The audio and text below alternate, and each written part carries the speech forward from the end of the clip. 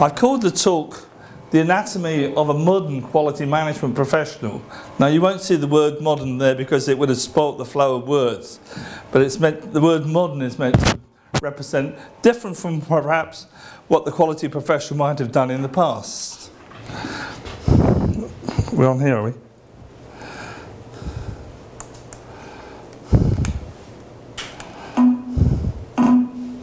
Whoops. Okay. Right back to ancient Greece, the times of Plato and, and um, the great thinkers of Greece, there's always been this controversy over governance. There's been two aspects of governance. One has been the improvement of the prince. This is where all the skills are pushed into the, the, the, the prince or the king, and he has the ability to govern from, from direct rule. And you can take that through to modern times in terms of leadership. When leadership uses all their skills to manage a business. The other alternative to that was the system. That uh, civilizations such as the Spartans developed their systems and the Romans developed their systems and quality came out of the system as opposed to the effort made by the, the prince. And that you see going backwards and forwards down the ages, where you get companies that are either dominated by leaders at the top, or you see companies that are dominated by the system. Good example of that is Sony, which was dominated by the, the man himself, that when he went, the company suffered from the lack of systems. So neither one or the other one is right or wrong, it's how you pl play, play the, the game, the quality of the individual. And when you look, think about it, People like architects follow the Prince route.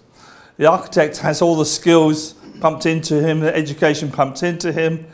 He draws, draws the, the drawings of a ship and such. Then he delegates it to the master craftsman, who again is education of the prince because he's taken education and the quality comes out of the craftsman's hands. It doesn't come out of a system as such. So it's always worth bearing that in mind when you look at any system. Are they following the Prince route or are they following the system route? You've got companies like Nordstrom, the American department store, where they have a quality manual of one page. It says you are empowered to make whatever quality decisions you, you wish to make. And if you're an expert on shoes, you can buy whatever shoes you like for the company, you can sell whatever you, you want to the customers and vice versa. So that's a good example of the Prince approach to quality.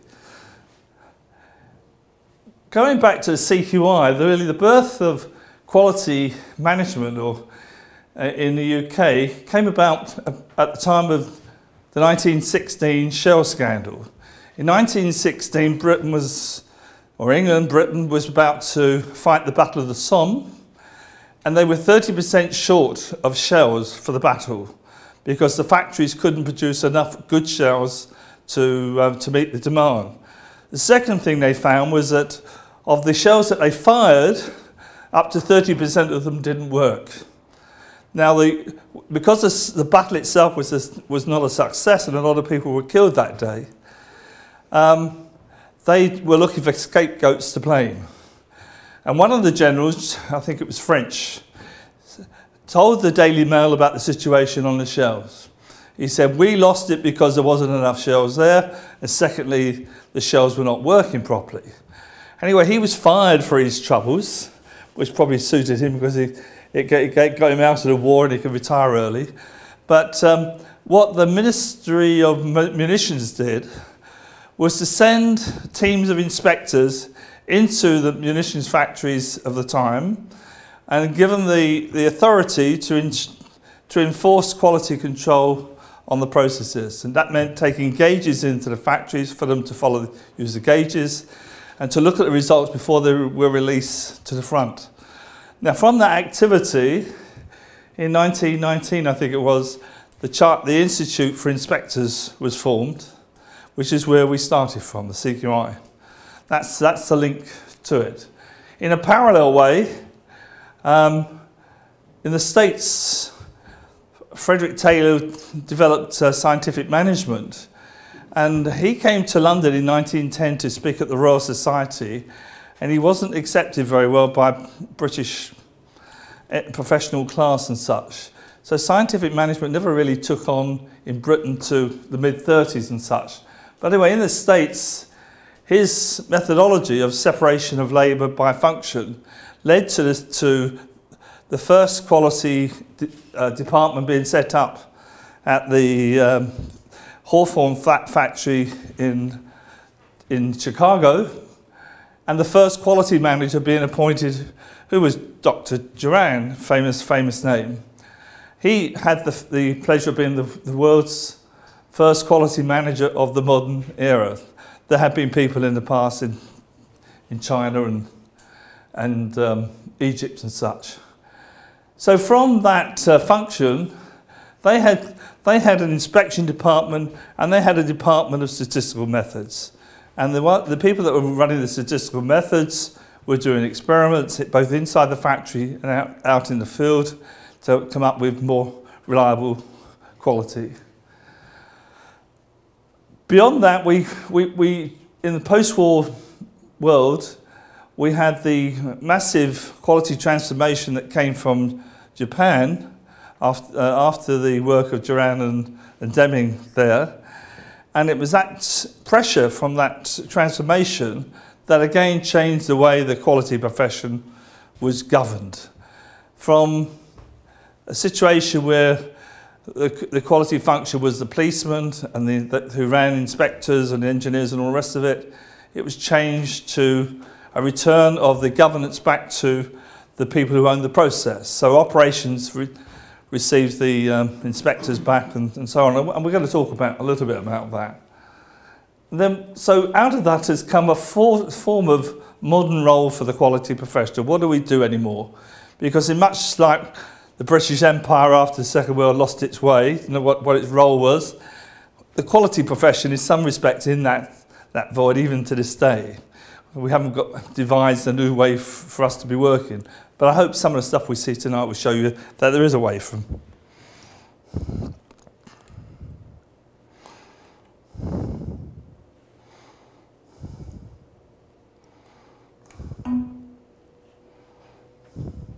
There we go. This is the, the bones of what I see as the modern quality management uh, professional. I'm not going to go through them. We're going to go through each of those individually. Just for those that don't know your history, the first uh, signs of inspection or quality control were with the Egyptians, where they employed people to measure the stones. They measured them at the site that they were produced, and then they measured them again when they were put into position. And so that was going on for a couple of hundred years or so. The, in, during the Middle Ages, the, the professional guilds were developed with the idea of one, keeping a closed shop on their jobs, but secondly, to protect the level of quality that was being produced by the individual guilds. With the arrival of the Industrial Revolution, it was no longer possible to rely on individual professionals to produce quality at the, the volume of parts that people wanted and also the speed that they wanted. So we, that had to change. And what happened was, was the move towards the use of statistics certainly in mass production, to um, control processes. And that is certainly the case today in, in many mass production industries like the automotive and the white goods industry and other people that follow, follow that route.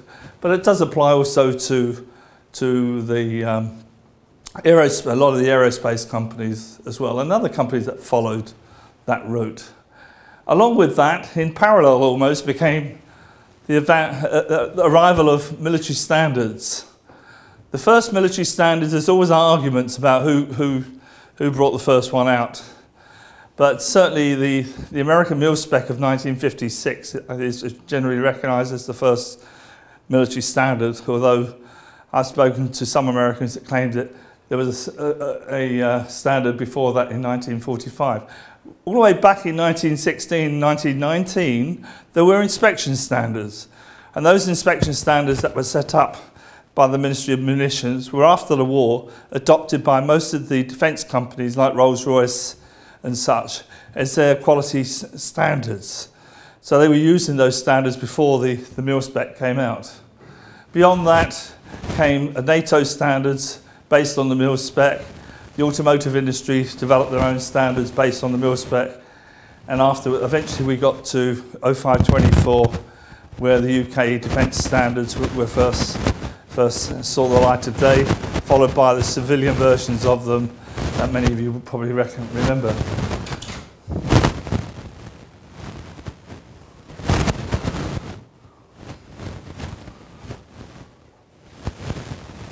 Have it in all its glory. I put this one up because before he died, Dr. Deming looked around and said, There's a lot of destruction in our society.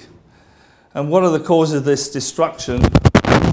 And it was to do with the, the merits in the schools, incentive pay, bonuses, numerical goals, and misunderstanding of variation and lots of other things of that nature. And he wrote about this, and that was his last lesson before he went.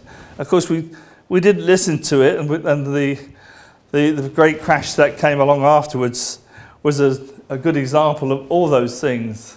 How the, these forces of destruction destroy the world, the society we live in if we're not careful. What Dr. Deming did leave behind was this economic chain reaction, which is as right today as it was when he first produced it in 1950, where what he said to the Japanese, he said, you're down and out now, but he said, if you work on improving your quality, you will automatically improve your productivity. Productivity will reduce costs. Lower costs will produce lower prices, increase your market share, stay in business and provide employment. That, that is the message that we're trying to get over to the politicians. That if, if, you, could, if, if you take the quality management route to improvement, you cannot fail, we cannot fail. And that goes against any form of competition that we may have.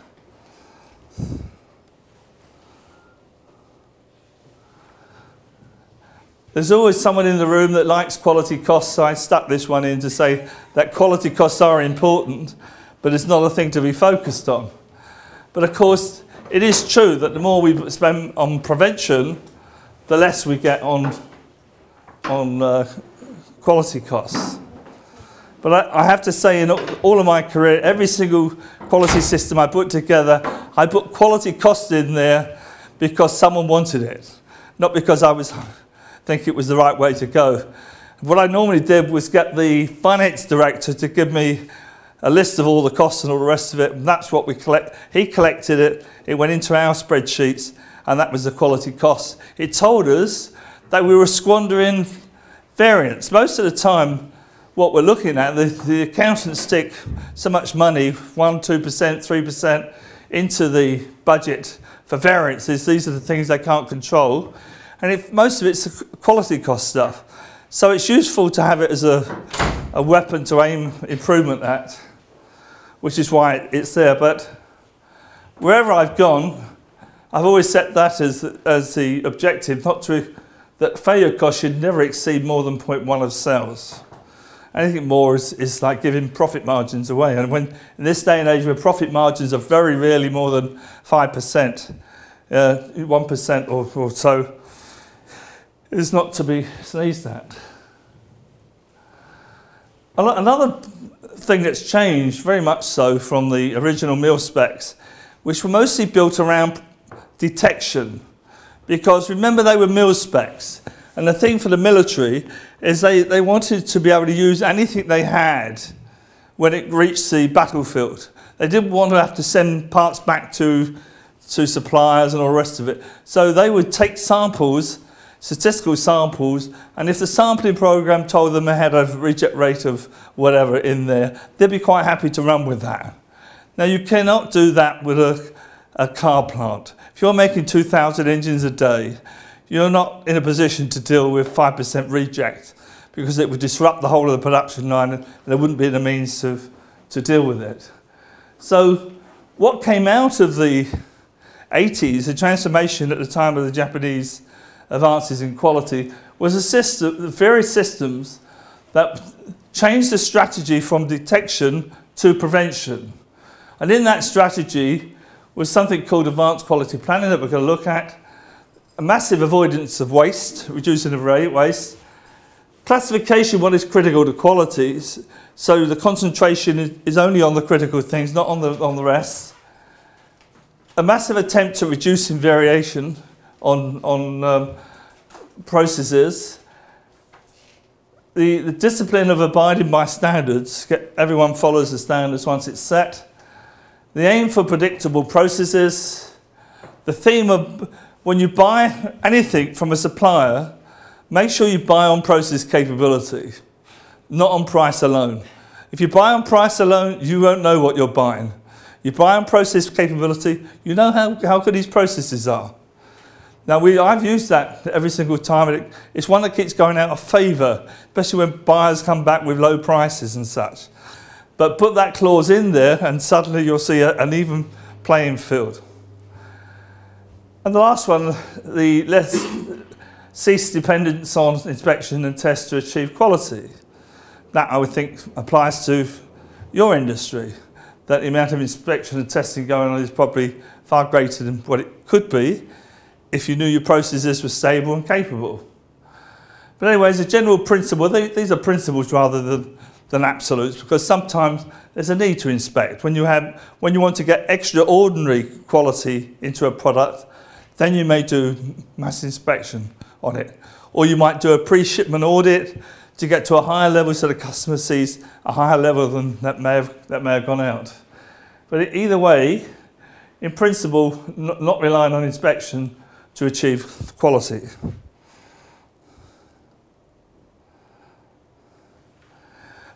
At that time of the changeover, we saw this decentralization of traditional quality management resp responsibilities. When quality went to business, it became a business case rather than a quality management itself case. quality planning went into the projects, inspection and NDT into manufacturing, supplier quality assurance to procurement, software into systems engineering, and patrol inspection finished up on operator control. There were just some of the things that were happening in the changeover about 20 years, 30 years ago now.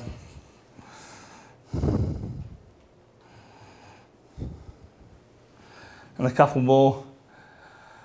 Goods invoice inspection went under manufacturing or procurement, and first party audit went to third party audit, and policemen, the inspection, the quality department went to collaborators in theory. So, what is the new role of the quality professional? What should he be? Well, I'm often told he's the quality, quality conscious of the company. I remember being wheeled in front of the, the um, director at uh, Warton, top, one of the top, operations director. He says, You're the quality conscience of the. I said, I'm responsible for what's going on out there? No way, Jose. But it's seen that they are the quality conscience of the company. And when things are not so right, they have to make that position clear to, to whoever their managers are. Secondly, translating the customer's quality requirements and expectations into the planning process. That could be very difficult to do on occasion, but that's what they should do. And know what is critical to quality. That's a, a very important role for the new quality professional. Aim for quality process, uh, process capability on all critical to quality processes. And audit outgoing product from the viewpoint of the customer. How will the customer look at this when he re receives it? And the last one, and very important to all you project managers here, or project engineers, project by project improvements. We must never run a project that we don't learn a lesson. And what are we learning when we run a project? What are we learning? Remember the, the prince and the system? What are we learning? Both really, aren't we? We're learning personally, but the system has to learn. The system should learn what we did right on that project and what we did wrong, and what we can do for the, to improve things in the future. Because it's either the system let it, let it go wrong, or people didn't work to the system, and uh, that discipline has to be reinforced. Interestingly, last week uh, we had the uh, rail Crossrail project at North London branch, and we had their quality director, quality managers, supply chain managers, all that stuff. One thing that came out of that, they're, they're doing incredibly well compared to their previous projects. They're normally behind time and normally costing over, cost overruns. This time round, they're six weeks behind schedule and they're 20 million pounds behind budget, which is not too bad for that construction industry. When I, I said to the quality director, what's your biggest problem? He said, people not abiding by the standards. And that's an interesting, thing. he said it's better than it was previously because now we insist that they abide by the standard. We do the tests that are laid down and we found things and stopped things going wrong and that's meant that we've progressed a lot faster than what we should do. So that was a lesson they've learned from that project, hopefully to take on to HS2 so they can reduce their, their variance costs. So the quality professional role, absolutely vital in all this. Any questions?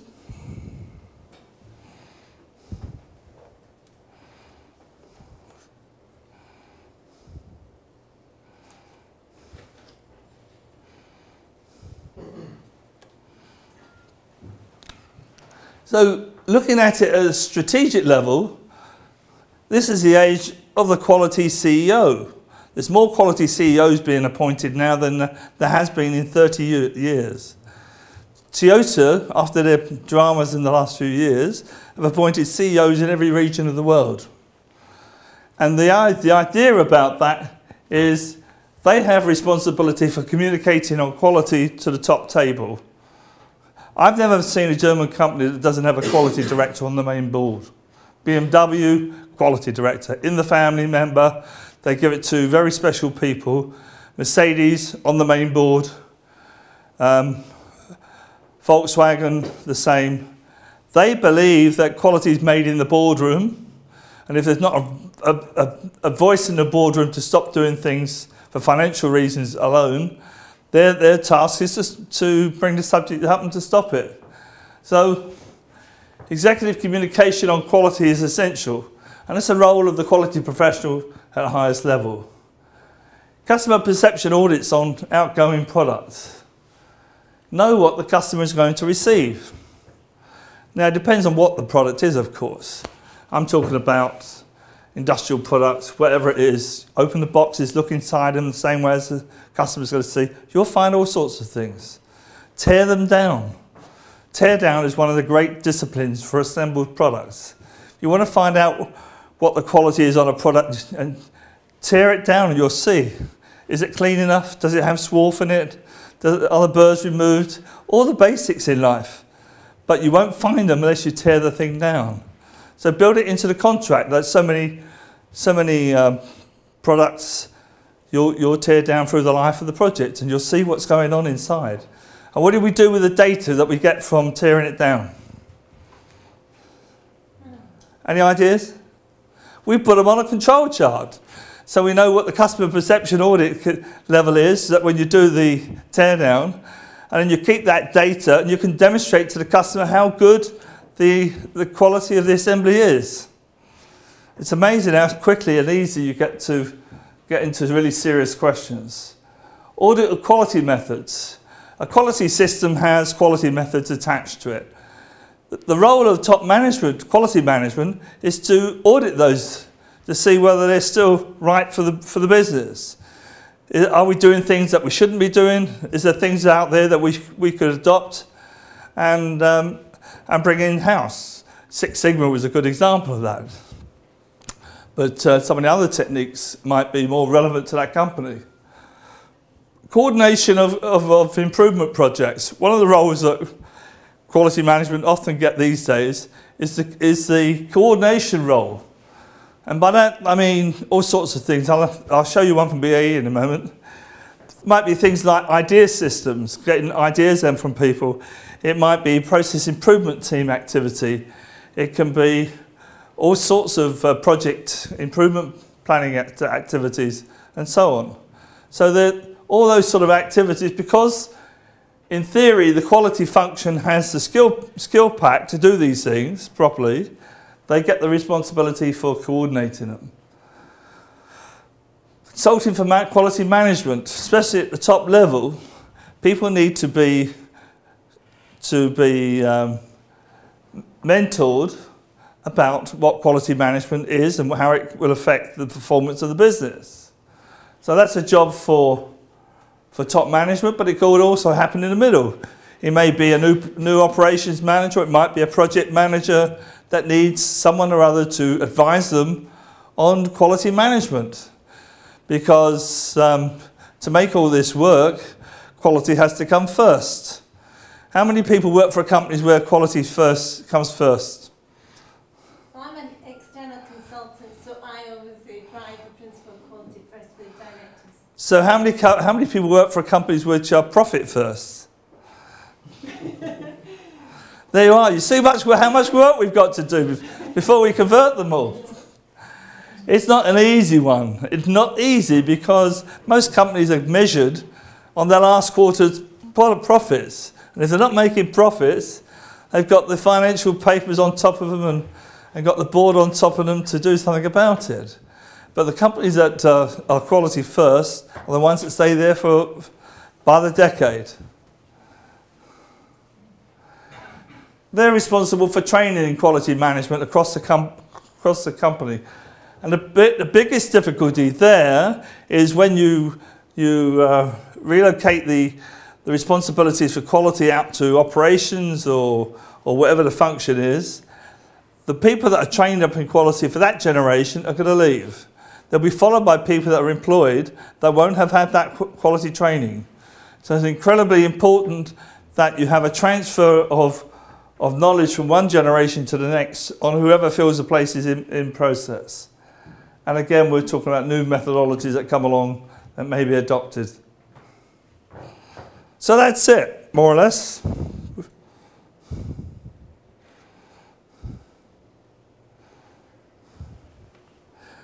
This we, last year we produced a paper at the institute called "The Future of Quality," which was accepted by the institute.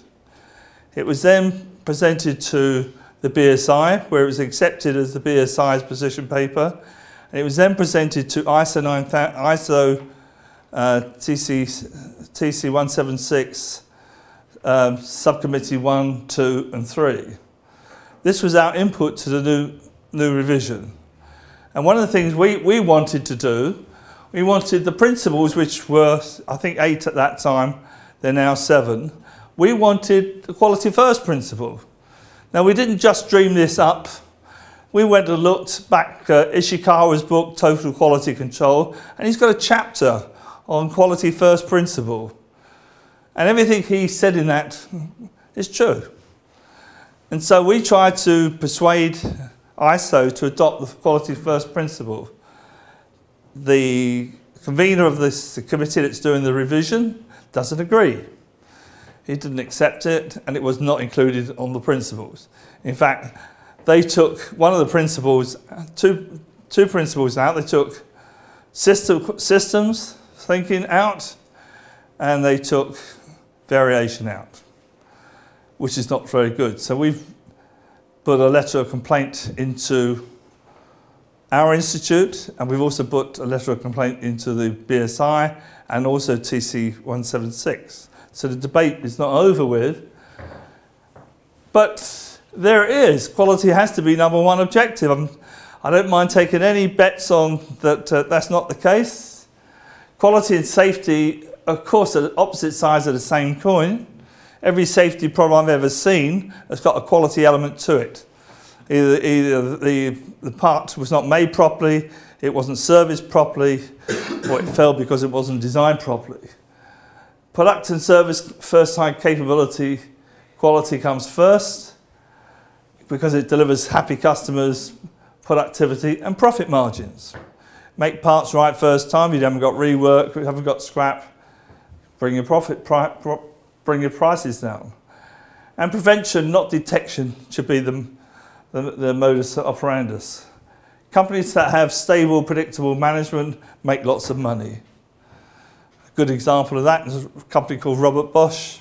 It's a not-for-profit organisation It's been making money for the last hundred years, and the way it's going, it will make, make it for the next hundred years. It's, and it's based on quality, or quality management.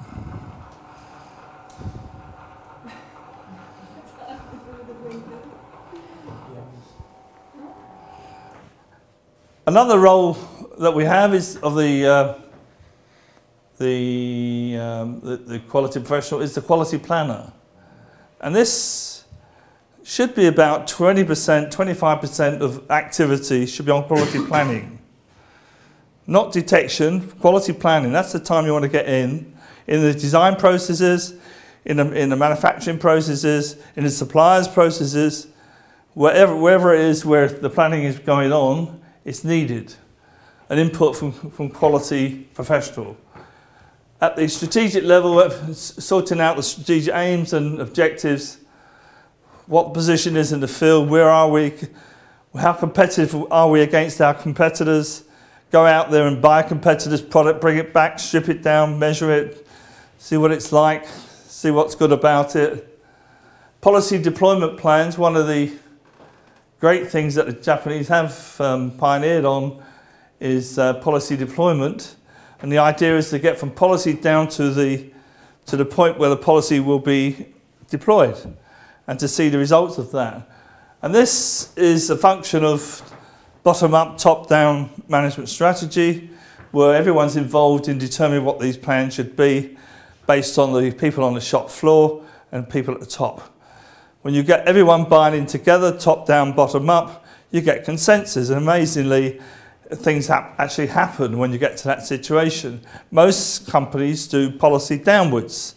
It gets stuck in the middle because the middle manager never has time to implement the policy. Product quality planning, we've talked about, we're going to come back to, and, and knowing what is critical to quality analysis. This one obviously involves engineering, design, marketing, customers. Knowing what those things are is the key to producing quality pro products. And of course, I think this came from, from Volkswagen. Prevention of errors in the engineering process has reduced defects in the manufacturing process. And for every defect that you've, you um, prevent in design and design, it costs you $1,000 in production. That's how much it costs to, to rectify it.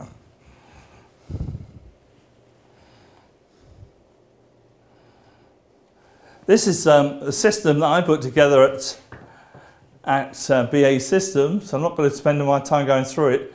Just goes to show the activities that a quality, a modern quality professional would get into on a new product. And it starts with teamwork and working together, project by project improvement, the lessons learned from the previous projects, what went wrong, what went right, what, what do we learn from, from this, what, what have we done to change the system, what have we done to, to improve the training. All those things formally in, in a plan that one project manager hands on to the next one. Because one thing I found about project managers, everyone wants to do it their way. Yeah? Frank Sinatra sings that song for them, and that's the way they want to do it. And when they get it wrong and you say, well, you, you didn't follow it, well, I did what I thought was the right thing. But anyway, that's very, very important. Front-end systems design, FMEA, produce critical to quality characteristics, feasibility analysis, process flow charts, value stream management and all that stuff that's a, a lean discipline these days. This goes back 30 years, by the way. Process FMEA, a very, very useful tool to identify potential uh, risks before we go into production. And the, and the rule is that you don't let any of those risks below, uh, above 125 risk priority number go forward. Or you, what you try to do is design the risk out. The key to it is designing the risk out. Reduce the number of risks you've got. You're, you're improving the likelihood of not, them not happening, happening and, and you improve the reliability. Then you've got the three control features. That's process capability assessment. Know what the process capability is on your critical to quality characteristics.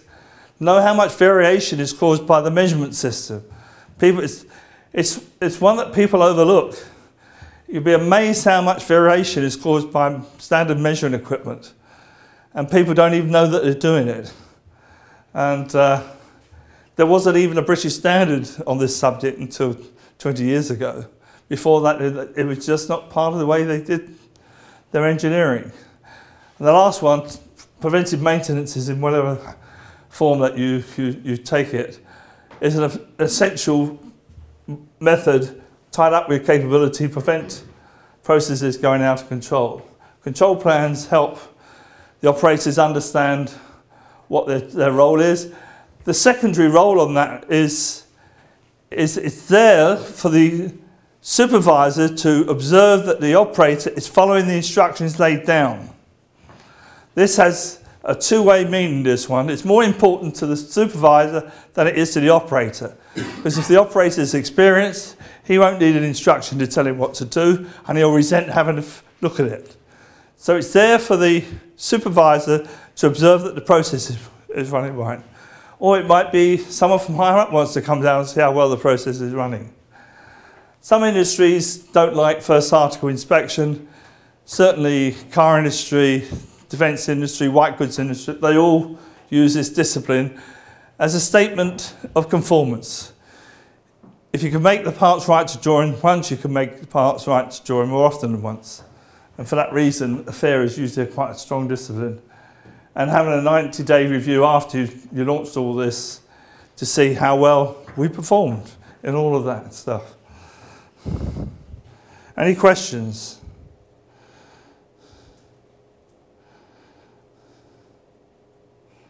I think I'm wrong with that. This, this is really to show quality professionals where they fit in to the overall system of events. From systems engineering model, the V diagram sets out to determine the activities that will happen at every stage of the project, from determining and managing customer requirements for all the way through to in-service support. And, and mirroring that are the green activities that you've just seen on that, that flow diagram of all the things that quality professionals should be involved in. That's, that's, your, that's the workload. And the, more, the better we do it, the further upstream we, we manage to take the project. We don't, we're not coming down, we're not taking problems of design through the manufacturing stage, taking them down, so we're picking them up early on. And uh, that's a model that fits in very neatly with the, the modern quality professional. Any questions?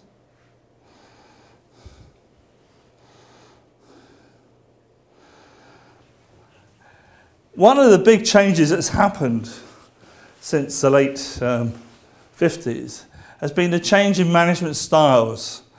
About that time, uh, McGregor identified what was called Theory X, which was command and control management. And that was the mode of operation that's happened for the past 2,000 years. That's what the Romans ran on. That's what we military model that we ran on. And the first industrial people used the military model as their management model, which is understandable. So Taylor's model relied heavily on command and control, people following what they were told to do. To do. McGregor and others like him, Maslow, Ouchi, um, they said there are psychological factors that affect the human pe people that, that uh, don't necessarily want to do that. They want to think things out for themselves, quite rightly. And of course, what else, the other thing had changed, people were more educated, more knowledgeable. They didn't need to be told what to do anymore. They could see what was needed and uh, they, they could get on and do it. So these, this change came about. But it hasn't gone as far quickly as we thought it would do, because there are still many companies out there that are running on command and control principles, which is a, a real shame. But there are other companies that are successfully running on, on Theory Y, which is empowerment management, and Theory Z, which is autonomous management. Autonomous is where leadership is delegated to the lowest possible level and uh, work teams decide among themselves who's going to run that work team and they make their decisions at level. That's all hung together by policy deployment where they have common objectives set by the top or, and agreed by the, by the bottom in the hierarchy. So, but, you know, collaborating across organisations is, is the toughest gig that most of us face because people don't naturally want to um, discuss with other people their, whatever they think their responsibilities are. And getting that to happen in an organisation is very tough. It has to start at the top most of the time, and it has to be the way that we, we're going to work, and that people have to work on it. It's, e it's, it's much easier, of course, for those uh, companies that have made the transition. If possible, the quality professional should build it into his terms of reference, so he's not seen as a trans, a uh, what do we call it when we tread on foreign ground? Never mind. Uh, it, um, but build it into terms of reference and give people the license to, to go across uh, boundaries and such. Obviously, it needs good human skills, soft skills to work on the relationships. The quality engineer has to make himself useful. He must be a good finder. He finds things that he no longer goes there beating them up with a, with a policeman's stick. He's there to find things that are going well. He has to be a good problem solver because then he becomes valuable to. And, um, and the last one I put it in there is that most people say, oh, it doesn't work because it doesn't come from the top. There is quite often situations where you can seduce them from the middle of the organisation. Wherever you are in the organisation, you can start this stuff tomorrow. You can go out there and, and uh, work with your colleagues and such to get quality management introduced wherever you are in, in the pecking order.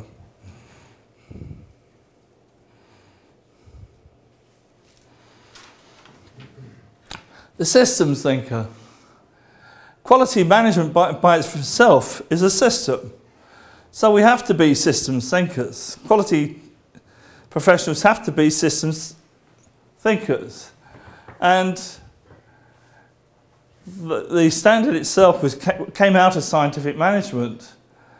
And the management theory has moved on from that, as we've talked about, which means that we can try and get as much of this into the, the new standards that are coming along. One of the big debates at TC 176 on the new ISO 9001 standard is about this subject, because they're trying to introduce this soft stuff piecemeal into the standard instead of starting again but because uh, they don't want to change it all because people get upset because it's too much of a change.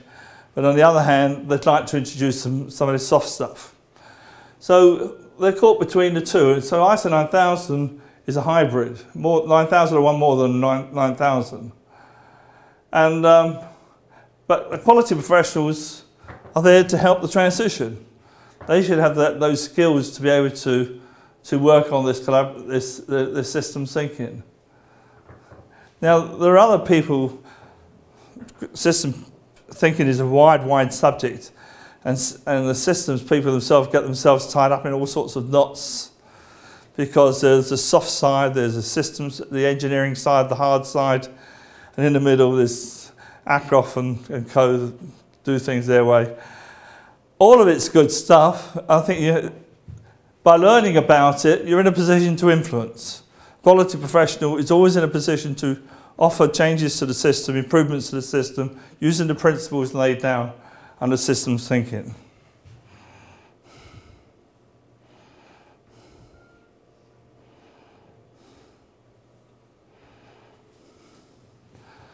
One of the principles that come out of this are that management are responsible for the system.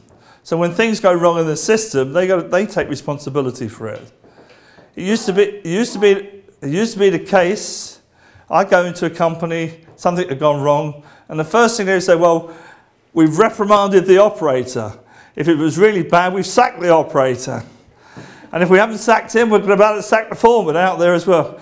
Uh, and I'd say, well, what about you? Isn't it your system? What's gone wrong with your system? Tell me what went wrong with your system. And of course, then, then, then they had to think about it because oh, maybe I picked the wrong operator, or maybe I did this or whatever. A classic case at BAE Systems. In the shipyard, no, on the, on the, on the artillery section at Barrow. Beautiful NC machine, experienced operator, titanium castings, very expensive, £90,000 a time, perfect quality. He goes ill one day, and the, and the foreman, in his haste, he says to the operator, not the operator, the young apprentice who's 19 years of age, I want you to go on that machine. And, and, and the poor little boy is shaking like this. But by the end of the day, he managed to make a non-conforming part with 90, 80, 90,000 pounds of scrap. And uh, so what do we do? Sack the uh, apprentice? Or are we going to sack the, uh, the, uh, the foreman? That's what I mean to say. It's, it's not the operator's fault in a case like that. It was clearly management's fault by not having a, a backup training person or, or to stop the process. Workers work in the system, they, they do what they're expected to do, whatever instructions are laid down.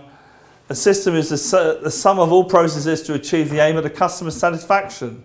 That's the total system all the way through. And performance comes out of the system. So the better the system, the better performance. Improving the system improves the performance. They sound very simple, much more difficult to make, make, make happen. Any questions?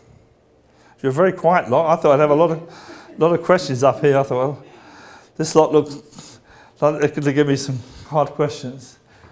Just, just a little bit of theory. George Box is probably one of the, he died not long ago. He's one of the great thinkers, or systems thinkers. He was 90 odd when he went. He was a statistician that grew up in, in England and went to live in the United States. But this is Box's theory, which I rather like, because he says to improve profound knowledge, you need to turn theory into practice, practice into theory, and work at improvement. Ono says common sense tells us that the world is flat. Common sense is, is always wrong. So, in other words, if you've got a common sense answer, go and look for the unreasonable answer. And Box's favourite quote is that all models are wrong, but some are more useful than others. And, and I think about all the money that we've squandered in the banks based on models. They were all working on financial models. They were making wrong decisions with models that hadn't a clue about uh, a non-standard distribution. They all worked on a normal distribution, and when they got a skew in the, in the distribution, they came out with the wrong numbers and they lost a lot of money. And uh, it tells us that we have to be, as, system, as systems thinkers, quality professionals, need to be on our guard. Don't let people make decisions based on, on uh, not, without theory.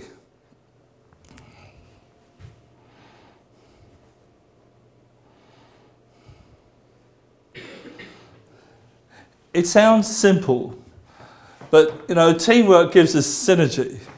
We know that those of us that follow football, we know the great teams always operate as a system. And they get synergy out of that time.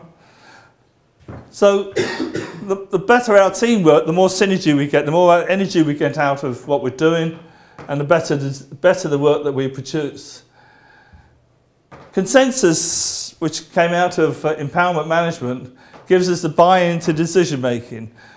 When we, when we have consensus, everyone buys into the decision. It doesn't mean to say we, we agree with it, but we agree enough with it to live with it. If we can live with it, then it, we have consensus.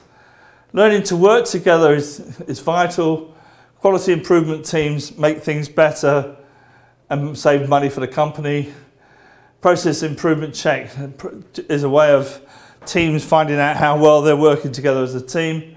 And the last one, team building, is what I hope we all try to do with our teams.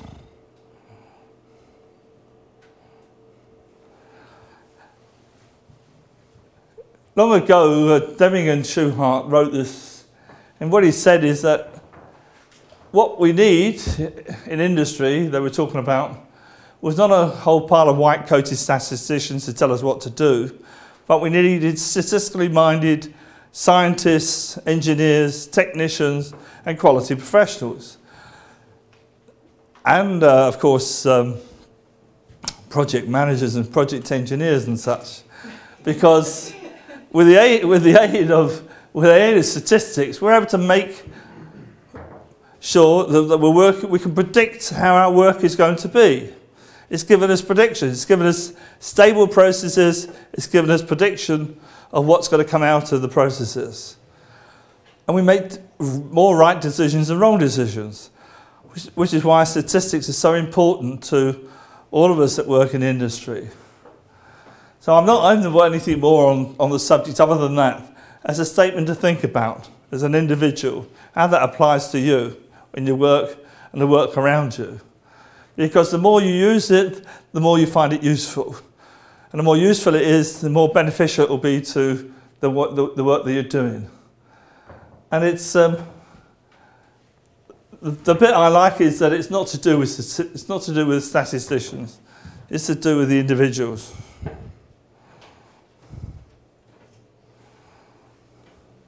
Metrology is, is one of the lost qualities of quality management. Years ago, metrology was hot, hot subject and, and uh, arguments about gauges and calibration and all those sort of things used to happen. And then it was sort of became, went out of fashion. When quality management went up market, metrology was one of those old fashioned things we, we used to do. Do we still do it? Do we still, do we still calibrate gauges? No, we dispose of them.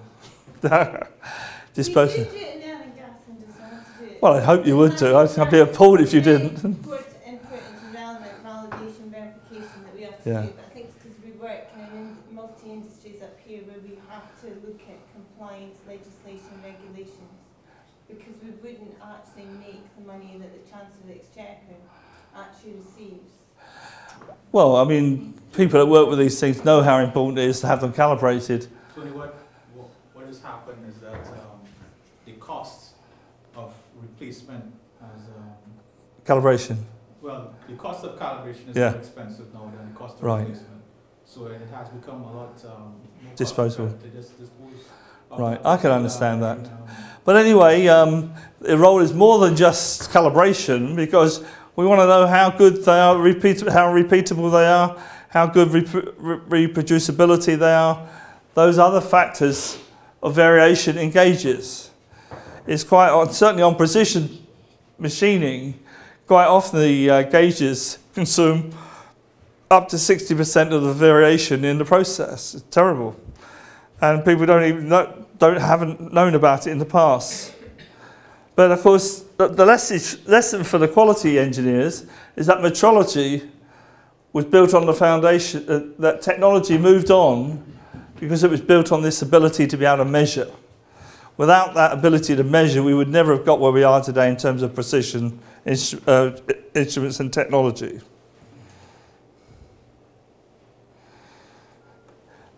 The improvement facilitator in the, new, in the new ISO 9001 standard, they changed it from continual improvement to improvement. But they've left the words out that supports it. Because this idea came from the CQI. We're to blame for this. Because in our paper, we said that there were three elements of, of improvement. Continual, breakthrough from Dr. Juran, and transformation, which is logical. What in the past we had continual in the standard, these other ones were not seen to be worthy of put, put it into standard. The reason why we put it in there is because 9000 standard is meant to represent the whole 20 standards in the 9000 series, not just 9001. 9001 is a basic quality management standard. We put the three in to cover 9004, and if there is one that's going to come about about um, about transformation, then that will be ready for it. So that's the reason why the, we put the change in there. Uh, what they did, they, they adopted it for 9001 and they've had thousands upon thousands of people complaining from all around the world that it should be continual. So it'll probably go back to continual. That's the way it stays with us. The quality professional should be able to work on all those elements of, of improvement. And depends on where we are in the life cycle, that all of those events may well come to pass. From normal continual improvement when you're steady state, breakthrough when you need to improve things in a hurry, transformation is when the business or the industry is going through a trans- transformation that new skills are needed.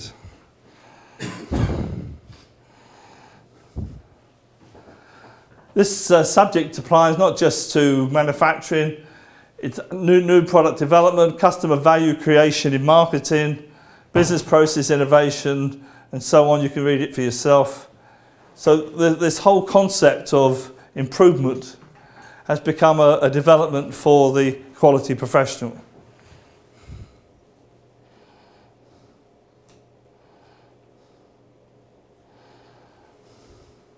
These are some of the skills that the quality professional, if, if he doesn't already have it, should be working on improving. Understanding variation, we've talked about. Systems thinking, we've talked about. Process focus. And that, by that, I don't mean just the, um, the process approach that's listed in 9001. I mean, understanding stability, uh, behavior, repeatability, and process capability the ability to work with people, soft skills, teamwork, facilitation, and the seven quality tools. Five S's for a quality environment.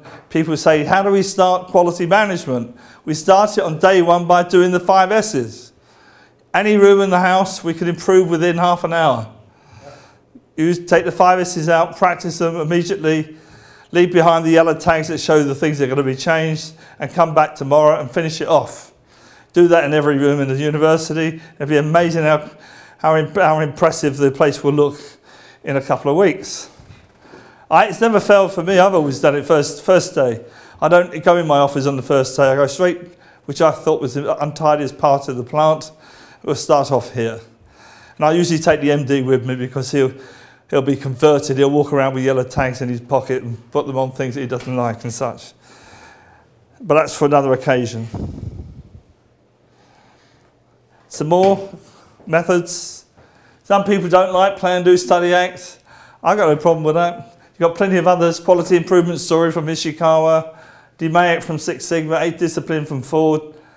9000 of Ford was an honest attempt to produce a standard for continual improvement. I don't know how many people have used 9004. Had any luck with it? Anyone? Hillary? Yeah, I have actually. I've actually used that within um, an SME where their turnover is 150,000 and we built a quality principle first and their growth was up to 6 million. It works. I, I, the Institute put about 180 recommendations into that standard and I was on the committee that went through it and defended most of those changes and uh, so we have, a, we have an interest in, in that standard, the, our institute. We did that. Kaizen was the original Japanese continuous improvement that came from Japan. And I remember this guy giving a presentation at the, the Institute of Electrical Engineers. And an old boy stood up and he said, But Mr. Imai, he said, all what you're talking about is common sense. We've been doing that. He said, but why isn't common sense common practice? And, and that's the issue with this. You can look at it and without touching it, do it. And the last one, not always applicable to every industry, but Taguchi came out with some very simple ways of doing design of experiments. This is working at uh, improving performance by understanding the variances of the processes, process inputs and outputs, and very quickly you have an improvement.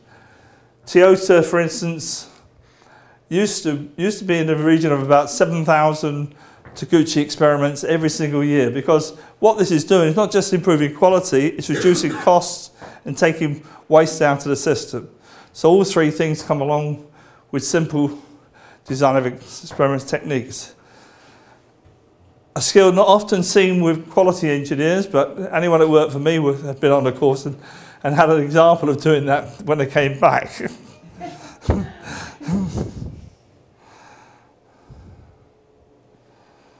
We've had that one.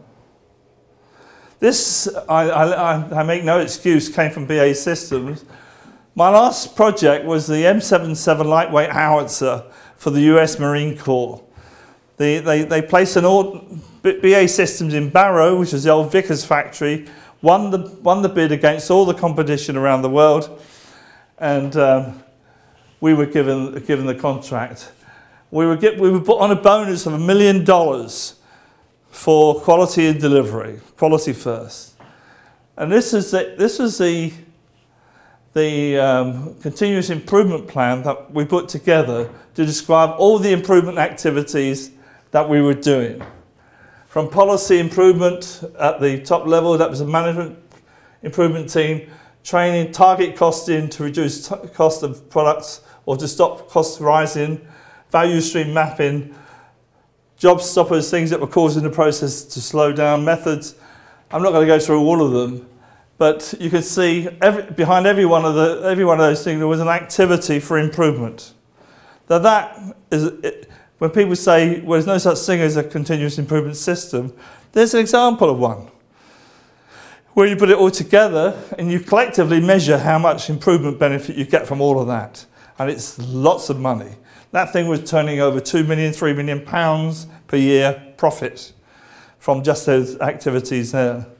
So it's worth thinking about it in that, that way, drawing it out that way. And even if you're not doing it, you can always start uh, one or other of the elements of it. So I left it in there for, for those that are interested in that sort of thing to work on.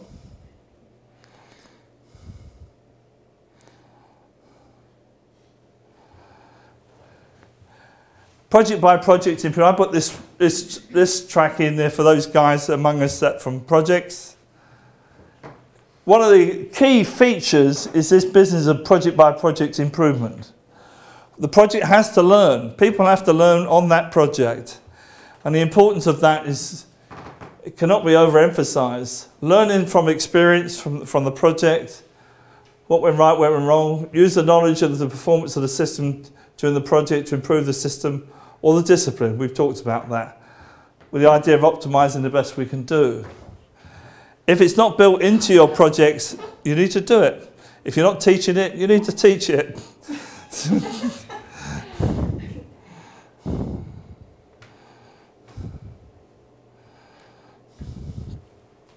well, management used to get away with this. They used to say, right, you guys, go off and run play in your quality circles and come back with the goodies then they said, well, hey, you're not getting away with that. Your job is quality function or quality policy deployment, that should be.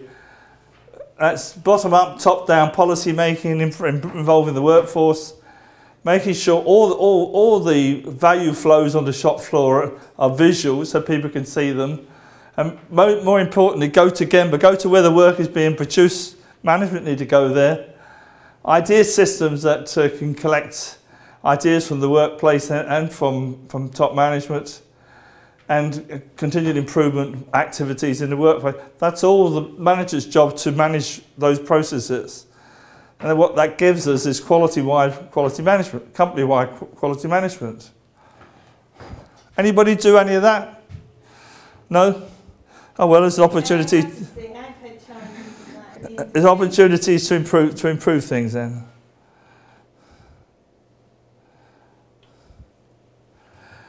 Supply chain, um, I'm, start, I'm going to start at the bottom.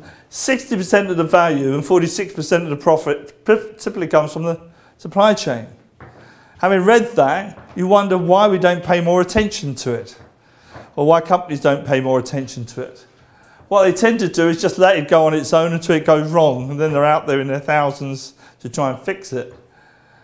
But there is more to it than, than, than just buying on price, because if you don't work, at, work on the cultural sides of the relationship and align the, uh, what you believe in at the top, it will go wrong.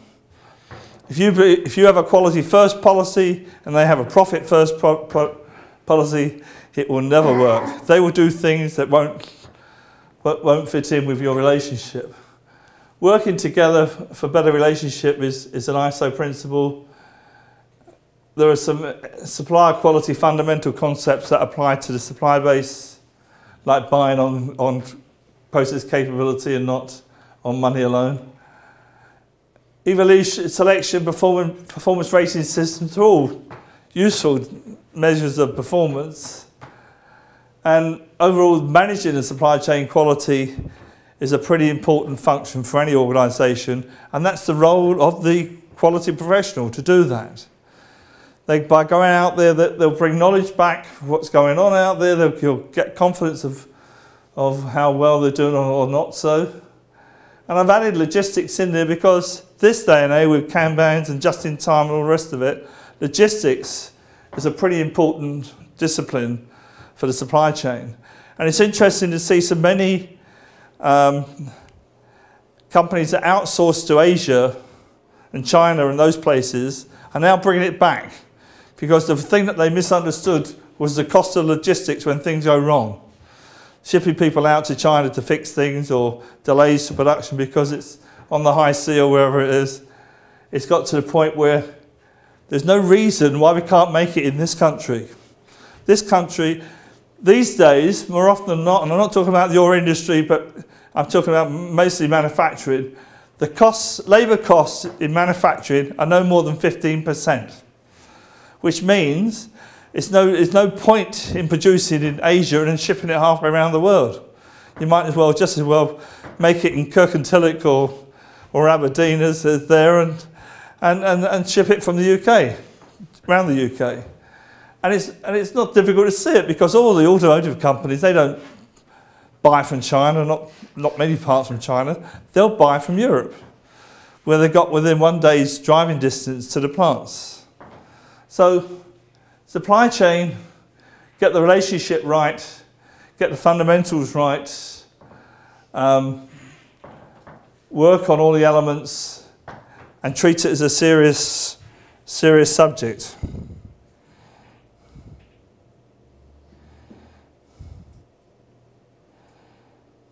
This is the model that we developed on, uh, on Stingray, the Stingray Mark II, and that we said before we went into this, because we'd had a disaster with the, with the um, heavyweight torpedo, and we decided we're going to do better on the supply chain this time round.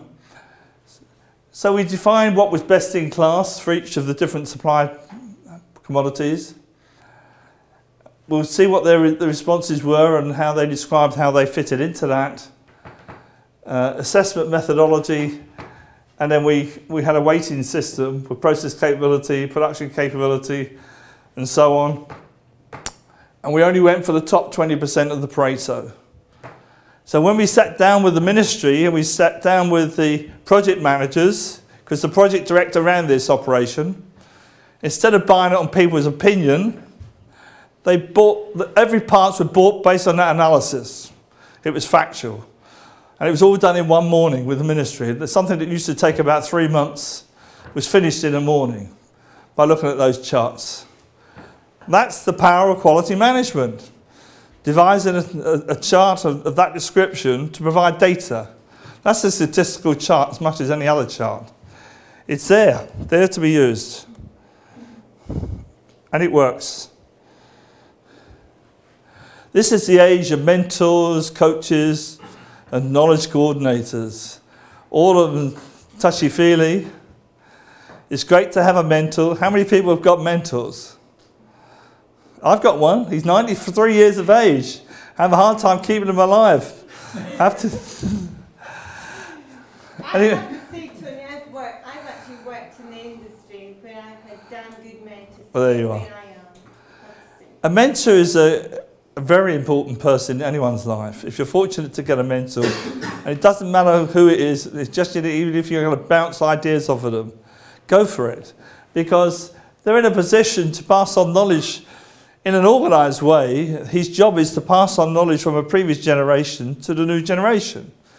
This is what we did, this works, that one doesn't work. That's, that gives you knowledge to help you and gives you confidence to do things in a better way. So I do recommend uh, um, get, getting yourself a mentor. Coaching is part of the mentor's task is to coach the individual in new ways of working or if they want to want to understand any statistical methods or any systems issues. And I'm remind, we're reminded here of Winston Churchill who came up with this, if you have the knowledge, let others light their candles with it.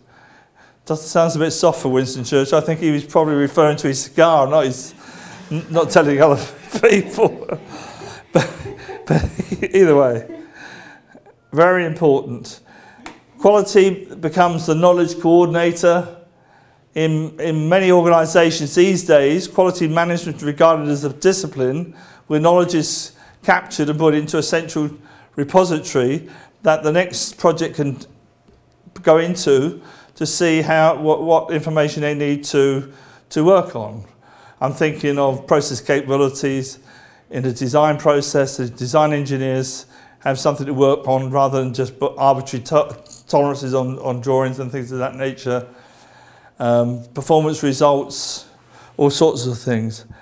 Where it gets lost is, is the volume of data that's around these days and, and trying to store volumes of data into a knowledge management system makes it difficult for people to retrieve it and it rather defeats the objects in the first place. But a well-defined knowledge management system would be able to collect and um, transform data quickly.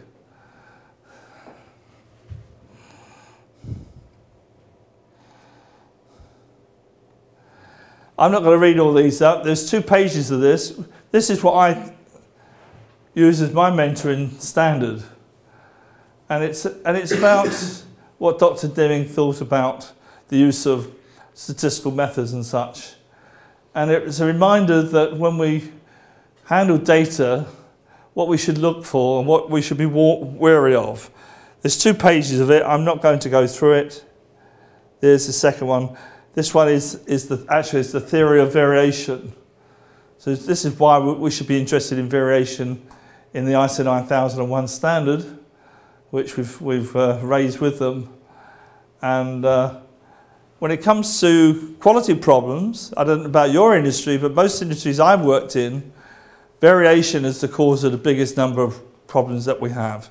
And by variation, I mean human variation as well.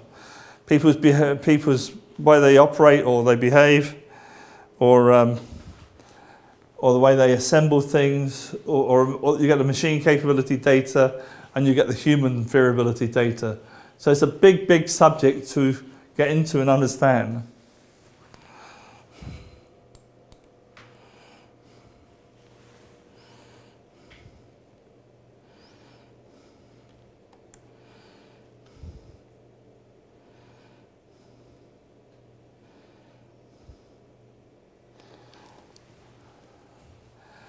Well, people have arguments over the difference between mentors and coaches, but a coach has a definite role.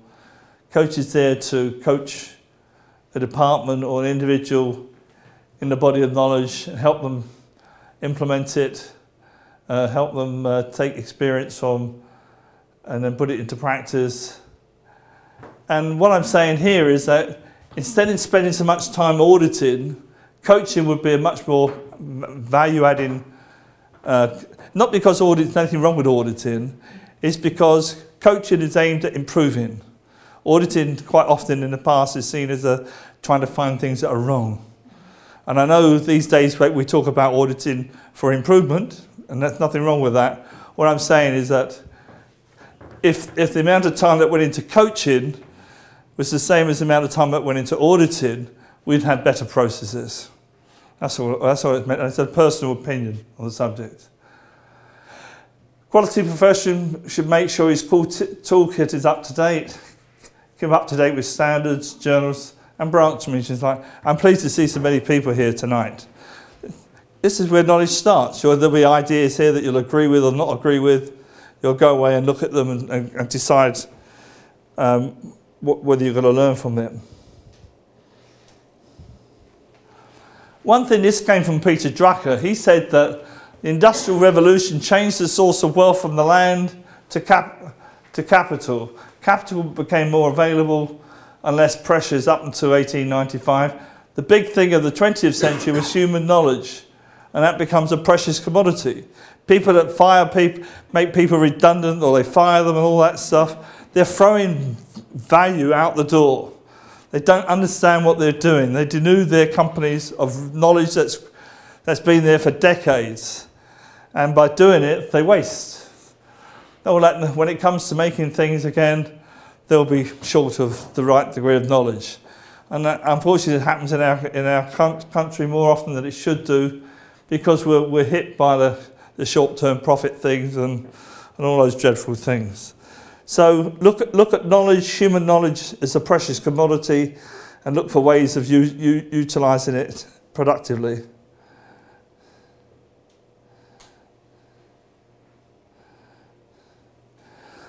And of course, in all of this, individuals, they need the energy to make things happen. If we're talking about the quality professional now, they need mind that's clear and that has the ability to think, think problems out.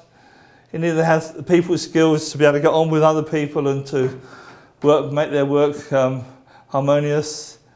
They need to develop good working habits, job st- stability, and, I, and this is me, speak with data, not fog. If we speak with data, we get to the truth. If we speak with perception, hearsay, opinion, and guessing, well, we get somewhere else. And the bottom line is we should, have, we should be ethical in, in what we're doing. I don't know about you, I've had um, people from a well known um, auditing company come in to see me. Well, how would you like it? Would you like it easy or would you like it hard? I thought, I'm, I'm not sure what he's offering me here. so I said, Do you mind if I have the telephone number of your manager? He said, Why? I said, I'm going to phone him up and tell him you're coming back to the office because you're not staying here. But it's true. There are outfits out there that, uh, uh, and these days it's getting worse, I think. Oh, absolutely. Is it? Say, yes, it is. Partic- I am concerned that we have built a very strong multi-industries up here, but I have to say the external lead auditors out there, I have challenged quite a few, and it's going to damage the industries that we've actually built. I think it's already damaging because we don't go forward. You, you, all of you must have a moan about 9001 sometimes. I know that goes on and it goes round and it gets churned and churned and churned and churned. And what is it we don't like? We don't like third party auditing because they don't. The, the, the, pipe, he who pays the piper plays the tune. So the third party auditor has to be ethic, very ethical in his work, not to be swayed by the company that he's, he's working on. I, I use the example of BAE System because it's in the past now. On the, on the astute submarine, it came to a halt. They couldn't move forward. It was coming to a halt. They couldn't assemble anything more on this submarine because of the quality deficiencies that had happened in the factory. Not working to drawings, not following instructions, uh, you, you, not following the CAD descriptions and all that, all that stuff. The MD got fired but he's got another job at Railtrack. God help Railtrack. Um, we got the blue ribbon provider of the auditing in. They have one man doing three days on a plant with 16,000 people. Wonder, I wonder why he didn't find anything wrong with that thing like that. We produced a 64 page report of all the things that were wrong. That blue chip company came in with six auditors for three weeks and came out with a huge bundle of things what was wrong with the system. We fixed all of that, and now we make submarines the way we should in the first place.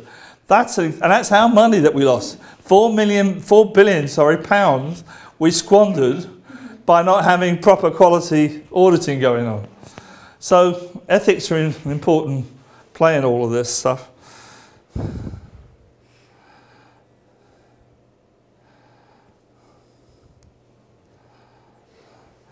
So I, I put these words down to sum all what we've just been through up. The quality professional plays a significant role in the development and improvement of products and services around the world. He's still there, he's survived the changes that we've had. They, the idea is that they, they need to be evolving into a more value adding role, which I hope I've demonstrated tonight the sort of things that they should be doing. There are technical challenges that we face on software, software errors, systems errors, nanotechnology coming along, microelectronics are difficult things to do. No matter whether it's making washing machines or motor cars, all of them struggle to control these in the same way as they control mechanical parts and electrical parts. So there needs to be new thinking in those areas and it should come from the quality profession and how to control these things better. Our body of knowledge is still the best tool set in, in, in, the, in the market.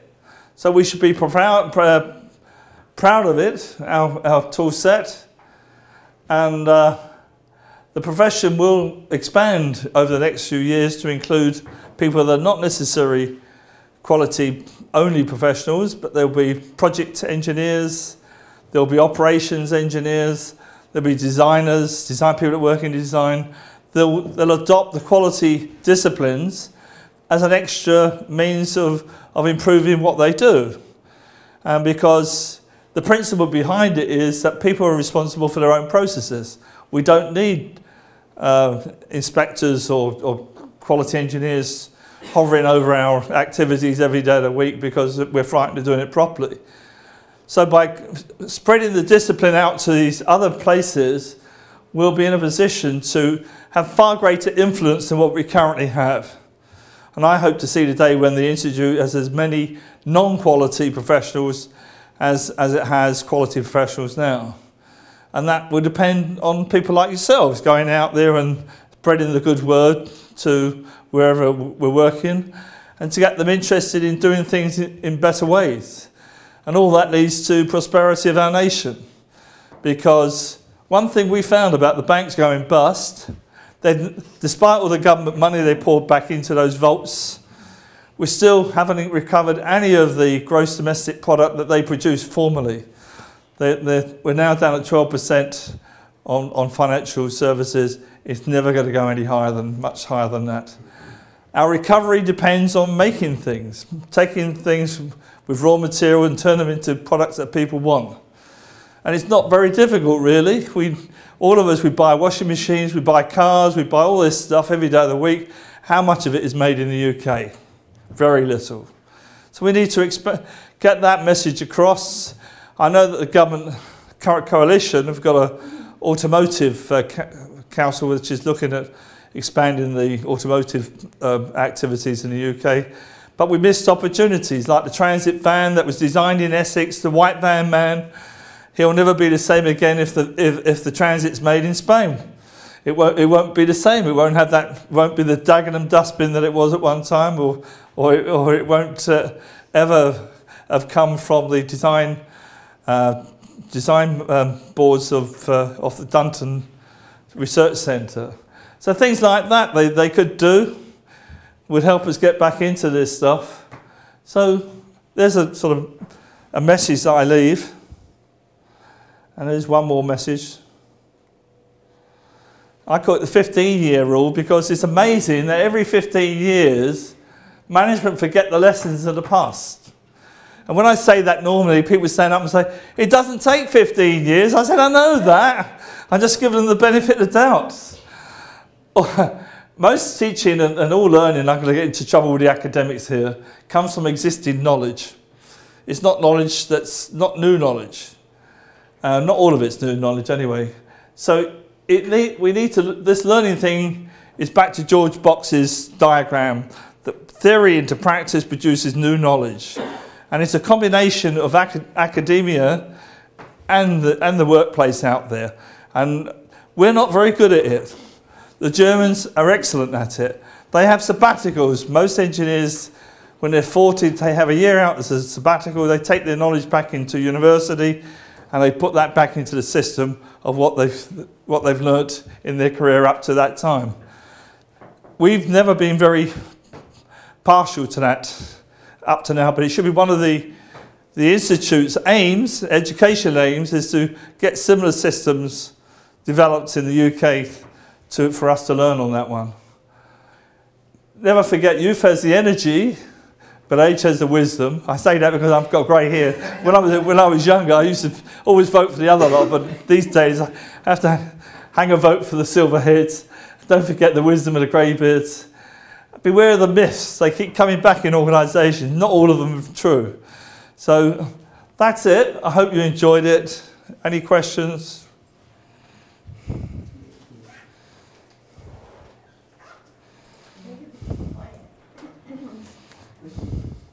Yes, sir. I need a little clarification.